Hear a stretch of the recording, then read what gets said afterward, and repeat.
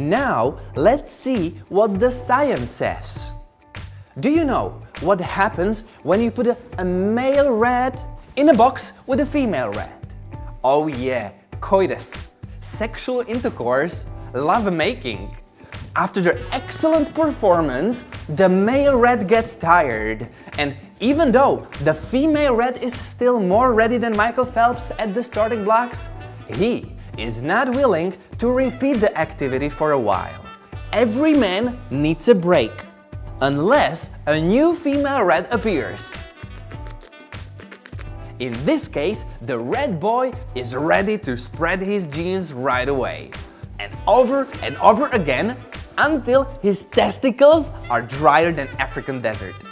This phenomenon of instantly renewed sexual interest is called Coolidge effect and it's common in all mammals, rats, dogs, monkeys and humans.